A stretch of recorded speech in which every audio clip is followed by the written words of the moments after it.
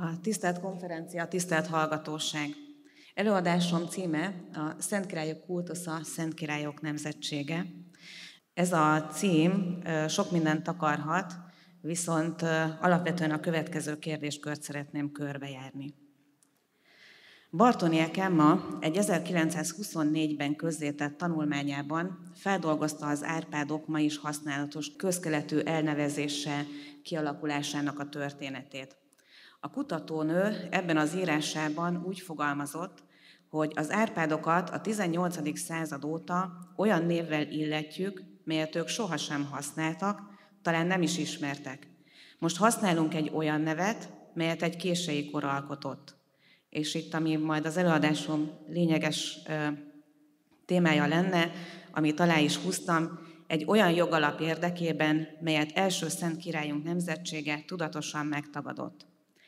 Elsősorban a krónika elemzések kapcsán született meg és teljesedett ki a, 19, a 20. században az a nézet, hogy a 11-13. századi magyarság, vagy legalábbis annak vezető rétege tudatosan és szándékosan törekedett a pogány múlt megtagadására, és ez a szemlélet tükröződik elbeszélő forrásaink szövegében. Ennek a felfogásnak a leglényegesebb pontjai a következők. Az első magyar geszta vagy krónika az úgynevezett geszta, amely többszöri átalakításon esett keresztül, a keresztény magyarok történetét akarta megörökíteni, ezért a Szent Istvánt megelőző időszakról, illetve magáról Szent Istvánról is meglehetősen keveset árul el. A krónika szerkesztmény a királyi udvar megrendelésére, vagy legalábbis az udvar közelében íródott, célja az utókor befolyásolása volt, az éppen regnáló uralkodók szemléletének megfelelően. A harmadik pont, hogy a krónikások alapvetően mellőzni szerették volna a szájhagyományban fennmaradó történeti emlékezetet, csak a kereszténység teljes megszilárdulása után kerülhettek az írásos anyagba a szájhagyomány akkor még meglévő foszlányai, de azok is ritkásan. És végezetül a változást a 12-13. század fordulóján élő Anonymous műve jelzi, aki Gesta Hungaróriumában több, a maga korában még ismert mondát is feljegyzett, és már nem látott olyan mély, áthidalhatatlan szakadékot a pogány múlt és saját keresztény kora között, hogy előbbiről ne lehetett volna beszélni, ezért már megengedhette magának, sőt ezt büszkén tette, hogy a hazai írott forrásokból elődei által kihagyott közemlékezetet immáron dicső múltként írásban is megörökítse. Anonimus szövegének elemzése, valamint a krónika szerkesztménnyel való szembeállítása során így megállapítást nyert, hogy a névtelen azzal, hogy beemelte az írott emlékezetbe többek között az álmos születéséről szóló szájhagyományt, és a maga korában élő nemzetségek történetét is megírta, a magyar történetnek genealógiai szemléletet adott, és ezáltal az őt megelőző keresztény szerzőkkel szemben megteremtette a folytonosságot a magyarság pogány és keresztény korszaka között. Mint azt többen megállapították, különösen igaz ez az uralkodó nemzetségre, hiszen 200 évvel István halála után Anonimus már Álmos Árpád, Zolta, Taksony, Géza, István fejedelem sort örökített ránk, amely a valóságostól eltérő, de lényegében az első szülöttség láncára fűzött családfa. Az Árpádok vonatkozásában elsősorban a trónölökrési rend megállapítása céljából vizsgálták ezt a kérdést. Több könyvespolci szakirodalom foglalkozik a királyság korabeli utódlás kérdésével, azzal, hogy a szeniorátus vagy a primogenitúra, esetleg az idoneitás különböző formái, az utód kijelölés vagy a választással történő megerősítés volt elsődlegesen meghatározó a magyar uralkodó család életében, és hogy ezek egyike másika mennyibe volt jellemző, illetve mennyire vezethető vissza a keresztény állam megalapítása előtti időre. A magyarok esetében egyik utódlási elv kizárólagossága sem mutatható ki, sem a királyság korában, sem azt megelőzően, az azonban jól látható, már a fejedelemség korában és később is, hogy az egyre terebélyesedő dinasztia az idő múlásával egyre inkább arra törekedett, hogy a lehetséges aspiránsok számát valamilyen módon csökkentse. A hatalomra jutás alapvető és megkérdőjelezhetetlen alapelve A törvényes uralkodás előfeltétele minden esetre mindig is a dinasztiához tartozás volt. De mit, mit is értünk dinasztia alatt? A kérdés felvetés talán furcsának tűnhet, de ha az Árpádok trónölöklési jogával kapcsolatos történeti szakirodalmat lapozgatjuk, akkor mégsem látjuk annak. Furcsának tűnhet a kérdés felvetés, de hogyha az Árpádok trónölöklési jogával kapcsolatos szakirodalmat olvassuk, akkor ez mégsem az. Itt ismét Bartónia Kemmelt kell idéznem, mert ő fogalmazta meg ezt a legplastikusabban, vagy legalábbis szóban idézhetően. Itt sajnos ez a, ez a dián valamilyen oknál fogva hiányzik. Bartónia Kemmelt tehát azt mondta, hogy az Árpád-kor hazai írott forrásaiban kétféle trónöröklési jog megléte fedezhető fel. Az egyiket, mely a Szent Istvántól való származásra vezeti vissza a magyar királyok öröklési jogát, a 13.-14. századi krónikák tartották fenn, a másikat, mely szerint csak az lehet a magyarok uralkodója, aki álmos nemzetségéhez tartozik, Anonymous Gesta Hungarorum a hagyományozta. Magyarországra Szent István vezette be a keresztény vallással és egyéb keresztény nyugati intézménnyel egyetemben a koronázási intézményét. István királyt ez a koronázás keresztény értelemben is királyát tette, uralmát keresztény alapokra fektette.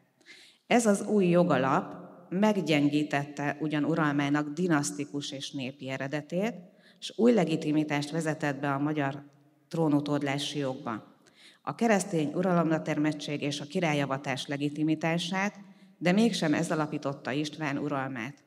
István mégiscsak pogány öröklési jogon, mint Álmos vagy Árpád nemzetségének tagja jutott uralomra apja halála után. És ez lett volna a lényeges itt a szövegéből, hogy e pogány öröklési jog az Árpád nem vérségi joga már a késő keresztény század végén alapjaiban megváltozik. A pogány tekintélyelv, az Árpád nemzetségéhez való tartozás nem lehet az a tekintélyforrás, mint a Szent István előtti időkben. Az Istentől eredő keresztény királyi hatalom nem szállhat át pogányvérségi jogon, pogány tekintélyel elv alapján uralomra jutott egyénre.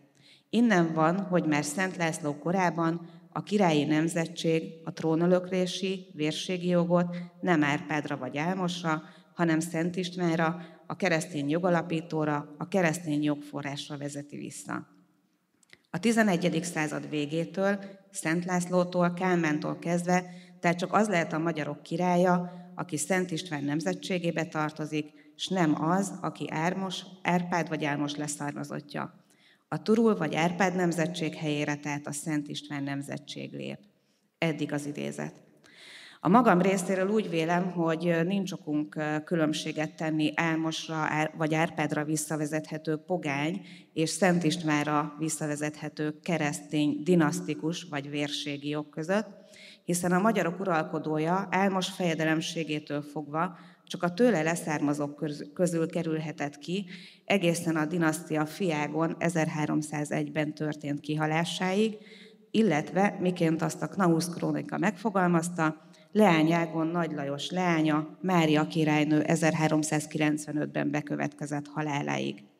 Ez a folytonosság álmostól kezdődően függetlenül attól, hogy István koronázása által a főhatalom mögöttes ideológiája megváltozott, töretlen maradt. Ráadásul a krónikat szerkesztmény is tartalmazza az Álmos Árpád Zolta Taksony Géza István leszármazást, nem rejti tehát véka alá a genealógiai szálat, és azt sem állíthatjuk, hogy a szájhagyományt teljesen mellőzte volna. Mi is lehetett mindezek után az oka annak, hogy a 13. század elejétől Szent Királyok nemzetségéről olvashatunk elsősorban a forrásokban, és hogy a magyar királyok Szent István, illetve a Szent Királyok nemzetségéhez tartozásokat kezdték egyre inkább hangsúlyozni, és nem Álmostól vagy Árpától való származásukat. Egy pillanat megpróbálom megkeresni a...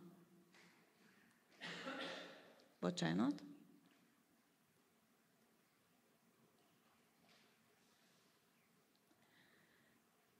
Valahogy több, több DM is elveszett, akkor folytatnám, folytatom tovább. Úgy gondolom, hogy az ok a keresztény kultúrkörhöz tartozással magyarázható. Kimutatható, hogy a dinasztiát és tagjait a keresztény államalapítást megelőzően és azt követően is különös kultusz övezte. Királyaink közül többek között Abbas Sámuellel, Salamonnal vagy Kálmánnal kapcsolatban is fennmaradtak annak a különleges tiszteletnek a maradványai, amelyek mint egy a szentség irányába mutatnak, de őket mégsem kolonizálták. Szent László volt az első, aki felismerte annak a lehetőségét, hogy a nemzetség tagjaihoz kötődő, egyébként is meglévő különös kultusz felhasználható arra a szentélyavatás révén, hogy itthon a dinasztia szakrális legitimációja, külföldön pedig más dinasztiák szemében a presztízse, elismertsége növekedhessen. László a célját el is érte, hiszen amikor a nápolyi anzsuk a magyar uralkodó családba akartak beházasodni, mert dicső és szent felmenőkkel rendelkező dinasztiaként magasztalták őket. István személye a kezdetektől összefonódott az államisággal, mert közvetlen utódait is Székesfehérváron koronázták, Pétert ráadásul ténylegesen István hatalmi jelvényeivel ruházták fel.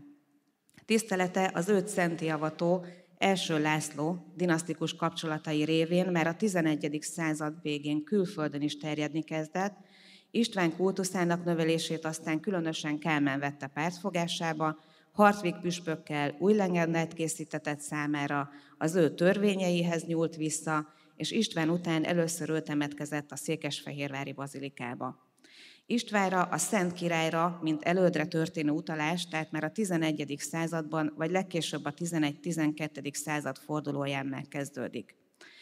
A Szent Királyok kultuszának, tehát többes számban a királyok kultuszának megszületése azonban László 1192-ben történő kanonizációjához kötődik. Történetírásunk Szent László elevációját már jóval több kapcsolat, vagy indokkal kapcsolatba hozza, mint Istvánét, minden esetre az ő oltára emelésének is ahhoz lehetett köze, hogy az őt kanonizáltató harmadik Béla a dinasztia korábbi tagjai közül benne látta meg azt a népkörében is különösen tisztelt szemét, akit példaképpé emelhetett. Az egyház, a keresztény egyház szabályai szerint is. A Szent Királyok fogalom azonban nem kettő, hanem három szemét akar. Innentől már úgy látom, hogy megvan. István és László királyok mellett Imre herceg is közéjük tartozik. Noha István fiát, Imrét egyazon évben emelték oltára apjával, a Szent Királyok fogalom ekkor még nem alakult ki. Mégis mikor és milyen indokkal kerülhetett Imre herceg, Imre herceg létére a királyok nemzetségébe? A Szent László oltára emeltető harmadik Béla 1182-ben Imre nevű fiát királyá koronáztatta. Korábban is volt erre példa első András és Salamon, valamint Kálmán és második István esetében. Béla még a saját életében másodszor is megkoronáztatta legidősebb fiát, Imrét, 1194-ben. Miként a Lászlót kanonizáltató harmadik Béla úgy az apja uralkodása idején trónutódnak kijelölt Imre számára a névazonosság mellett, de attól függetlenül is példakép lehetett Imre herceg, Szent Imre herceg. A későbbiekben hasonlóan gondolkodhattak a későbbi ifjabb, ifjabb királyok. Erre utalhatnak talán a későbbi sátoralja újhely, vagy mai sátoralja újhely templomi patrocíniuma is. A helységben a középkorban ugyanis három egyház állt. Az egyiket Szent István, a másikat Szent Imre, ez volt a plébenia templom, a harmadikat pedig Szent Egyet tiszteletére szentelték. A plébánia templom védőszentjének megválasztása bizonyára nem volt véletlen. Az újhelyi vár építése és a település alapítása 5. István személyéhez köthető. Abban tehát, hogy a Szent Királyok hármasságának Szent Imre is részévé vált, a az őt felavattató Szent László mellett harmadik Béla és Imre királyoknak, valamint a későbbi ifjabb királyoknak lehetett szerepe. Maga a Szent királyok fogalom a 12-13. század fordulóján jelenik meg az írott forrásokban. Első lejegyzőjének anonimuszt kell tekintenünk, a névtelen gesztája ugyanis a turul mondának a következő változatát tartalmazza, ez olvasható a kijelzőn is. Az úr megtestesülésének 819. évében ügyek volt Skíti a legjelesebb vezére, aki, mint fentebb említettük, hosszú idő múltán Magók királytól származott. Önet Bélia fejedelmének Emese nevű leányát vette nőül Dentumogyerben, s tőle született meg Álmosnak nevezett fia. Az Álmos nevet azonban isteni közbelépés eredményeként nyerte, mivel várandós anyjának álmában égi látomás jelent meg a turulmadár képében. Az reálszálván mint egy teherbe ejtette, és tudomására hozta, hogy méhéből forrás fakad, s hogy ágyékából dicsőséges királyok származnak majd, akik azonban nem saját földjükön fognak elszaporodni. Mert az álmot magyar nyelven így hívják, születését álomjövendölte meg, őt magát is álmosnak nevezték el. És itt jön a, a lényeges rész Anonymous gesztájából az Emese Álma mondá kapcsán, vagy azért hívták álmosnak, azaz szentnek, mivel utódaitól szent királyok és hercegek születnek majdan. Anonymous utolsó mondata, amit itt is aláhúzással kiemeltem, olyan többlet, amely a turulmonda más változataiból hiányzik.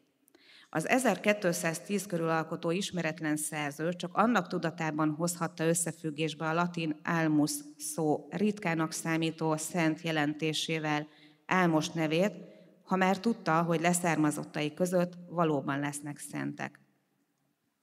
Egyéb írott forrásainkban a szent királyokra, mint ősökre történő utalás a 13. század közepetájától jelenik meg.